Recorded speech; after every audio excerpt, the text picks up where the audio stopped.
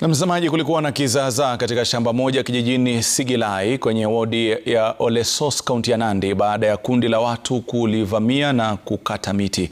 Kulingana nao, walikuwa wanatekeleza amri ya mahakama ya kuondoa walioko shambani humo, wakidai limeshauzwa na wangetaka kuendelea na kilimo.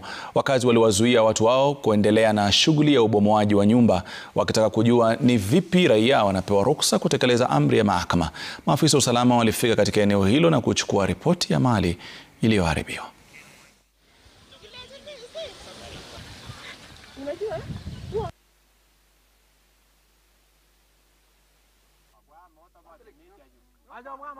Hatujasafiwa na oda yote ya kwamba tunahitaji kuwa evicted hapa,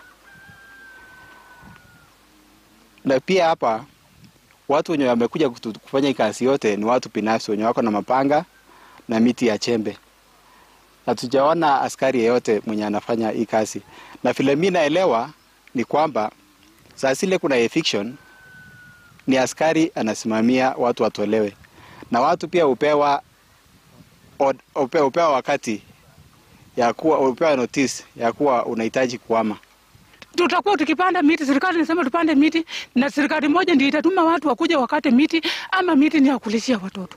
Serikali ya Nandi kaunti kama kama kama gavana ananisikia ama seneta anasikia ama MP Ketur ananisikia, ananifanyia anafanya, tulimpigia kura akuja atusaidie. Kashagwa ako wapi? Ruto ako wapi? Woye akuja atusaidie. Ngusha miti almost let's around 700 trees 700 around 400 or 500 plugam and 300 cypress is also ameharibu fencing ya shamba ndani yenye akufence mwenyewe akadisplace ng'ombe akapeleka ng'ombe kwa barabara.